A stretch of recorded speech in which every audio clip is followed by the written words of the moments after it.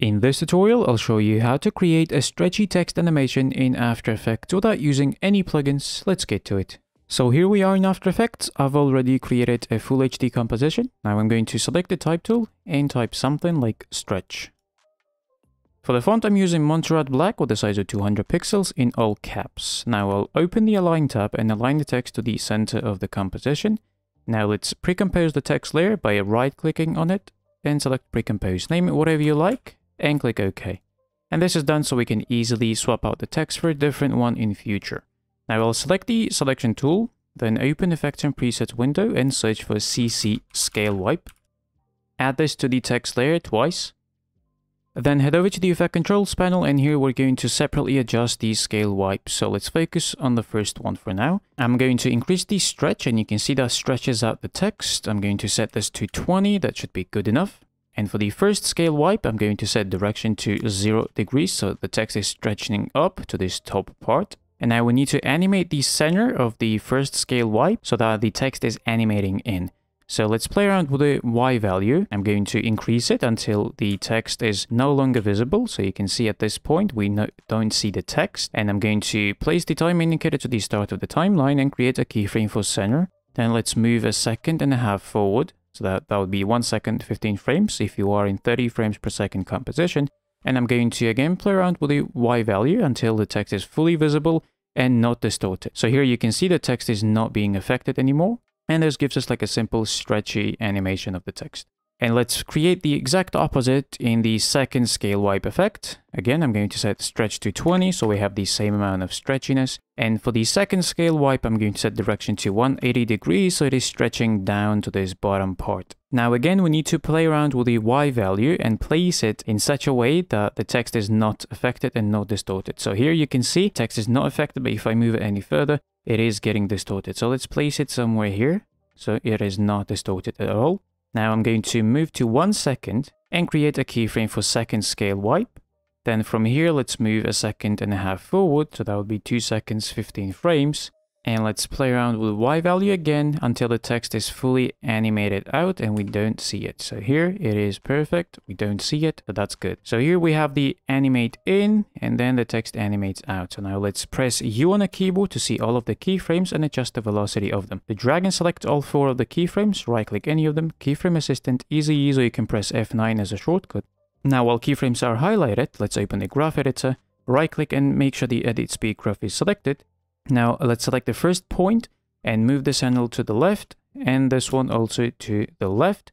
And select the second point and move this handle to the right and this one also to the right. So this is how the graph should look. We have a very fast animation at the start, then it is very slow in the middle, and then very fast at the end. So let's exit the graph editor and do the first preview.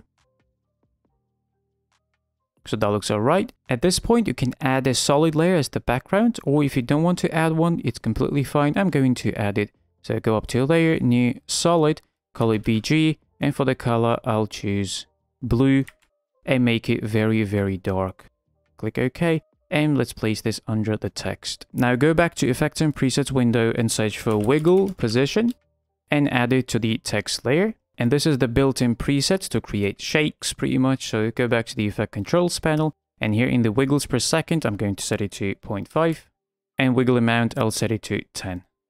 And this will add a very subtle movement. It will be barely noticeable, but still you can tell that the, the text is moving slightly. After this, let's add an adjustment layer. So go up to Layer, New Adjustment Layer. And let's add glow to the text. So go back to the effects and presets, search for glow and add it to the adjustment layer. Now for the first glow, I'm going to keep the settings as they are, then select the glow and press Ctrl D to duplicate it. For the glow 2, I'll set glow radius to be 250 and glow intensity to 0.5. And now we've created very nice glow around the text. Now I'm going to search for another effect, wave warp, and also add it to the adjustment layer, not the text layer, but the adjustment layer.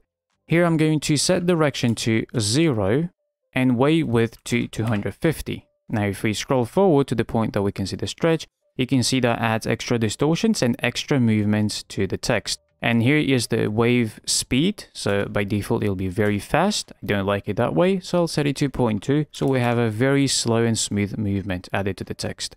And here I am going to set the quality to high, just for better quality.